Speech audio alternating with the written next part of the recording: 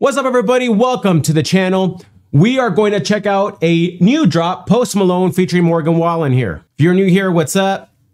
I used to be a country hater and now a country lover. What does it have to do with Post Malone? I've noticed that Post has been doing more and more country stuff. So lo and behold, he's doing a song with Morgan Wallen. Morgan Wallen was actually a key catalyst in my, uh, you know, changing my mind about country. Homie's voice, uh, his songs, his songs are being written by Hardy. So Hardy's become one of my favorite country like writers and artists in general as well. Mor Morgan Wallen's dope. So just love seeing how much Post is doing in the country space. And I'm frankly hoping this song will be a country song, but we'll see what it is. Nonetheless, I, I want Post to do a full blown country album, bro. Not Beyonce. What the freak was that? If you're a Beyonce fan, all good. So let's check this out. Thank you guys so much for clicking on this video. Didn't know this was coming out till this morning, uh, working out at the gym, just scrolling through YouTube, saw that this was gonna be released here shortly. So, so let's roll it. Odds are you are here because you already checked this out and you loved it and you just wanna see someone else listen to it with you. And if that's the case, cool, here we are. Set aside your worries. Let's just enjoy some good music together, yeah? I mean, let's, let's hope it's good. Up. Dude, the the song's fully full blown country. I love it. I what has happened to me? I'm all pumped that dude, it's country music. I can't explain the transformation. I was just I was ready for it. This is and okay, this style of country right here is one of my favorites. I typically like country for either storytelling or just levity into I don't know, kind of like a sad situation. Cause like the song is really sad here. You got a, a lot of you got a lot of nerve, don't you, baby? I only hit the curb because you made me. You're telling all your friends that I'm crazy like I'm the only one. Why'd you throw them stones? You had a wild hair of your, of your own or two. Living in your blit. Uh, man, I can't read today. Big glass house with a view. I thought you knew. I had some help. It ain't like I did this all by myself. Don't act like you ain't helped me. Pull that bottle off the shelf. Been deep in every weekend if you couldn't tell. They say teamwork makes and teamwork. Hell, I had some help. So talking about how in a relationship that isn't going too well, you go you're crazy, right? You're just not ready for a healthy relationship here. And saying teamwork makes a dream work. Hell, I had some help.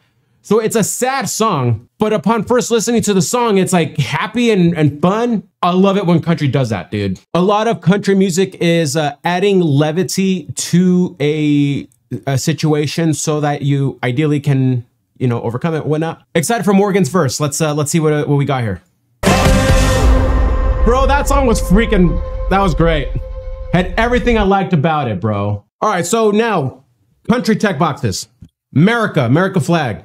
Beer, trucks, bar, chicks, humor, sad story, but with humor, levity, steel guitars, everything. Morgan Wallen is a freaking with his angelic voice. Don't really know about how much he lives, uh, you know, how he lives his life, know, whatnot. I watched his interview in, uh, with Barstool Sports, and that was funny. Post Malone's was really funny too. I loved everything about this, bro. So let's talk about the Beyonce country attempt there again. Like, this ain't Texas. I hate that song. I am super easy to please, and I but I hated that song. But I mean, it sticks with you. I can't like now. I can't get that. It ain't Texas. I can't get that out of my head. So there's something there. It, it, dude, it, I, I loved it, man.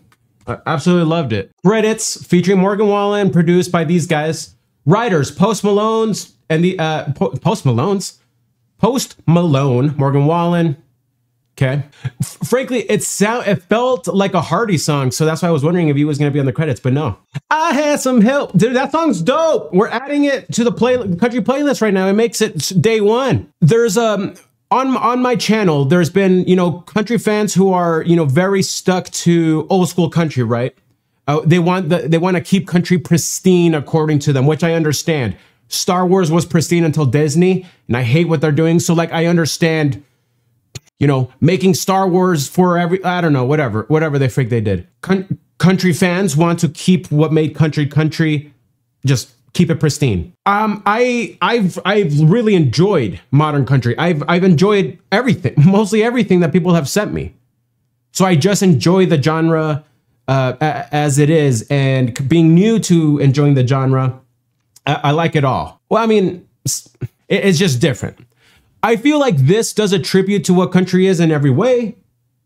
Like if you're a Toby Keith fan, which apparently Post Malone is, didn't isn't there this video going around of him doing a singing a Toby Keith song. It, it, it has Toby Keith like elements in it, right? The, a story, a funny story in the music video.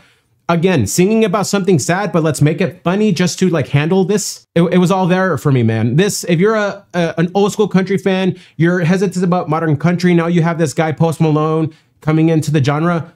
Man, you got to welcome him with open arms. He's he clearly loves the genre. So um, I love it. I, I hope uh, everyone, you know, on my channel that you're loving it. Comment down below. Please let me know. Let's do a quick uh, comment analysis here. Comments are predominantly positive and excited. Viewers express joy, excitement, love, and admiration for Post Malone and Morgan Wallen and that uh, that collaboration. People are talking about, you know, again, the collab between different genres, Post Malone's versatility.